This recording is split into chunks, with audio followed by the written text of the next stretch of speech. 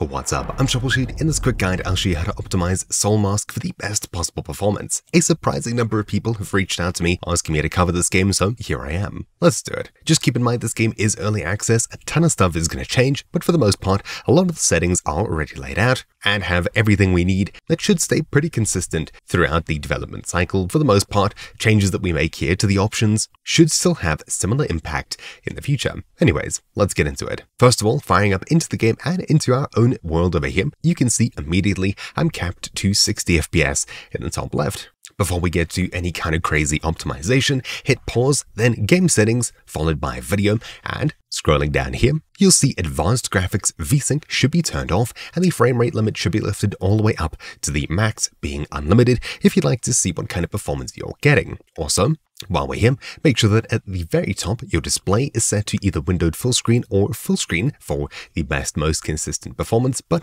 on most modern systems, it doesn't really matter between those two. Then your resolution should definitely match your display or at least be compatible, otherwise things will be super blurry or you'll be wasting extra power in frames you don't actually see. Then if we scroll all the way down to the bottom, you'll see AMD FSR and NVIDIA DLSS. These are both upscaling solutions, whichever one you choose is based on your preference, and of course if you have an NVIDIA RTX graphics card or not, FSR can be used by absolutely anyone, and essentially upscaling runs your game at a lower resolution, then blows it up to full screen using AI, saving you a bunch of performance, getting you way higher FPS, at a very small visual impact cost. This, while AMD FSR is on by default, doesn't actually do much as, scrolling up, you'll see my 3D resolution is set to 100%. I've essentially told my PC to upscale native quality gameplay into 100%, so it's not really doing anything. If you were to crank down resolution to around 80 something ish percent, this is the same as setting your FSR to around the quality setting, usually. Then around 70% would probably be balanced, and 50% would probably be performance. Anyways, I'll leave this on 100%, and for now, disable any kind of upscaling, some FSR and DLSS, just so we can see what kind of native performance we get in the game, and of course, I'll be opening up a proper more in-depth overlay as such. There we go. So it is a bit hidden away, but you can see I'm getting a solid 83-ish FPS, and this game feels super smooth. This is with everything set to the best highest settings on a 3080 Ti at 2K, so it runs pretty well, or at least on modern hardware. If we change it from very high to high, we move up to around 92-ish FPS, then medium, 117-ish, 120, low, up to 130-ish, and finally, very low moves our game all the way up to 160-ish FPS, but of course this is probably aimed at running on a very, very low powered system. Anyways, this game has a ton of different graphics options, ranging all the way from a super high powered system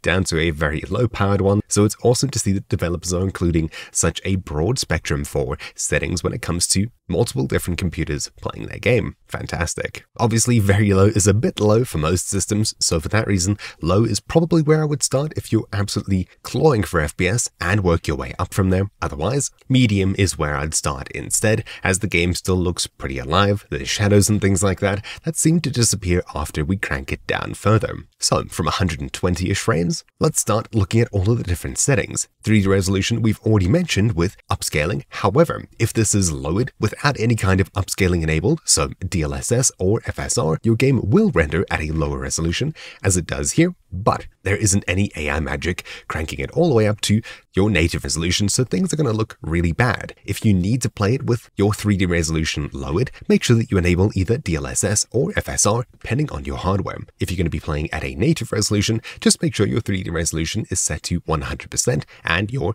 upscaling is turned off as well. Having that, we've moved down to around 110 FPS. Shadows should have the biggest impact on performance. For the most part, between very high, we're sitting at 101, too high, medium, low, and off completely. That just doesn't really look good at all. We seem to gain maybe 20 to 30 frames. And if we leave it on low, which is as low as I would go, we move up to around 115-ish so there's only really 10 to 15 frames difference here. Personally, most of the shadows seem to be present when the game is set too high, and we gain around 3 to 4 FPS, so this is where I'll be leaving it, but medium or even low is still a really good choice here. Then, anti-aliasing, if you choose to play at a native resolution, having this set to the higher options should help your game look quite a bit better when it comes to jagged edges. As for performance, on very high I'm getting a solid 105-ish, down to completely off, 108-ish, there's only really 3 frames difference here, and for the shimmering that it introduces when we have anti-aliasing turned off, I'd recommend keeping it on at least on low if you're not going to be playing with upscaling. If we are using upscaling, then I'd recommend putting your anti-aliasing on low, as having it set to off makes things look even worse. Having it set to anything higher when you're using upscaling, especially with low percentages here,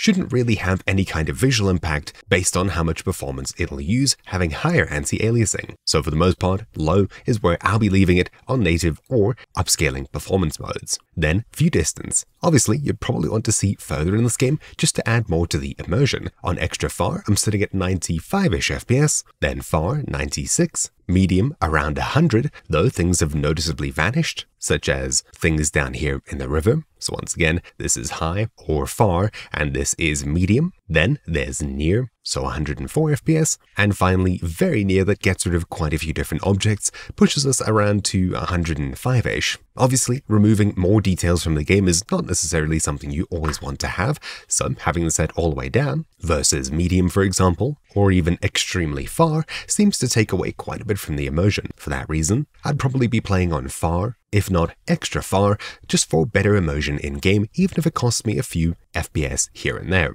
Then, textures should really have to do with the amount of VRAM the game is consuming.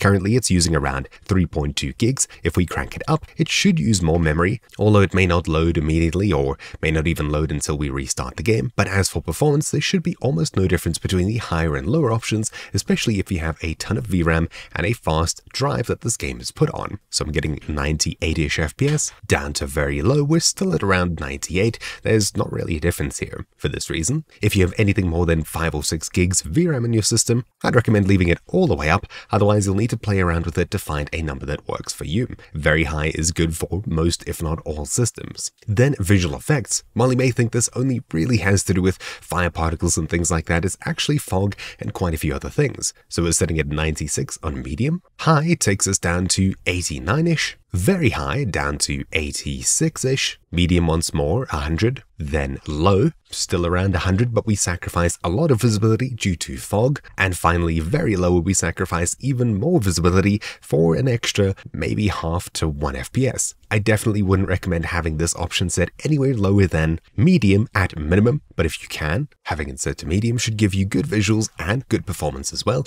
Anything above this seems to take away quite a bit of performance for not all that much impact. Something I have noticed is on high, there's a lot more swaying of trees, which isn't there on medium, and very high seems to even move the shadows of trees as well. Anyways, based on what you want out of the game, I'd recommend setting this to medium probably, but you can raise it if you want more better looking immersion. Then post-processing. I've set it all the way up to very high, we're getting a solid 95-ish FPS, high 95-ish still, medium 97-ish, low around 100, and very low around 103, 104-ish, but you can see a huge difference between low and high. This mostly has to do with vignetting, making the corners of the screen a little bit darker, and some general lighting, I would think. The low seems to add most of it back, and as I don't seem to lose all that much performance between low and medium, medium's probably where I'd be leaving this. Then finally, foliage quality. This you'd expect to have a big difference in performance between very high